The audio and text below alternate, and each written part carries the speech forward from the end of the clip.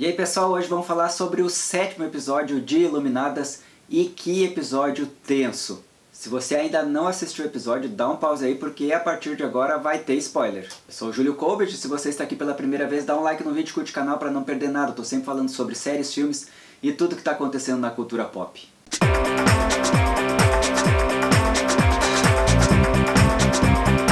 Esse provavelmente foi o episódio mais tenso de toda essa primeira temporada. A gente viu a Kirby quase sendo assassinada na areia e se confirmou né, aquela história da primeira vítima ser a namorada dele. E nós ainda tivemos mais à frente ainda no planetário mudando toda a história de uma possível vítima dele. Mas o momento mais triste, o momento pior da história foi quando Velasquez foi assassinado, ou pelo menos está à beira da morte ali e estragar a camiseta dos mutantes. Isso me deixou muito magoado.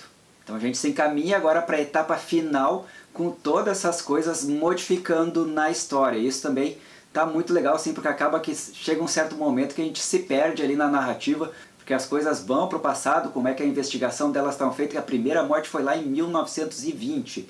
E a gente está em 90 e tantos ali e o cara ainda na ativa. É claro que as pessoas que não sabem como é que está acontecendo veem aqueles ali como loucos, estão vendo o Velasquez, estão vendo a Kirby como malucos, porque ninguém acreditar que uma, alguém, uma pessoa lá está matando em 1920 e vai estar tá matando em 1992, 1990, 84. Então acaba que o marido da Kirby se preocupou né, com a sanidade mental dela para ela dar um descanso ali e acabou que ela entrou em licença obrigatória, mas isso não muda nada a história dela em si, porque ela ainda vai continuar indo atrás do assassino serial e ainda agora ela vai ficar mais revoltada com a história da morte do Velasquez. Isso me deixou também profundamente irritado com esse assassino serial, tô querendo ver o fim dele já na próxima semana. Então é isso, a partir de agora é um embate direto entre um e outro. Ele sabia que a Kirby ia lá para o planetário e aí ela atraiu a atenção dela para lá, enquanto isso ele foi atrás do Velasquez. É meio que um jogo de mágico né, que chama a atenção para um lado e faz as coisas do outro. Como ele sempre tem a vantagem de saber onde estão as coisas, como as coisas acontecem, e ela é desacreditada pelas outras pessoas, então ele está sempre um passo à frente.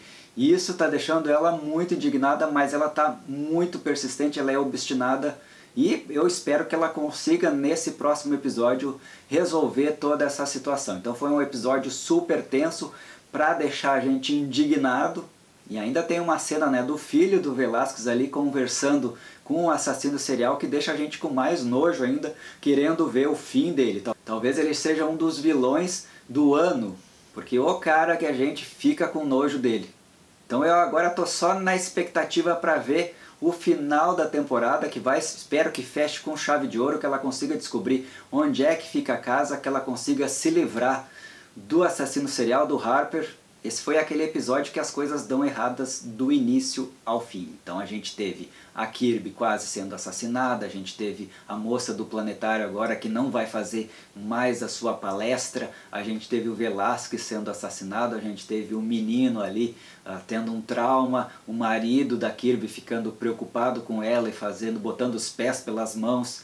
Tudo que tinha que dar de errado aconteceu nesse episódio, que dá uma esperança para o próximo para que as coisas se resolvam e que não fique assim aquele final aberto em que a gente não consiga resolver as coisas. Então estou esperando que se resolva tudo de uma vez por toda, que haja um embate entre a Kirby e o Harper e que se resolvam as coisas. Agora peguei nojo desse cara, tô querendo ver ele ou atrás das grades ou mortinho da Silva ali.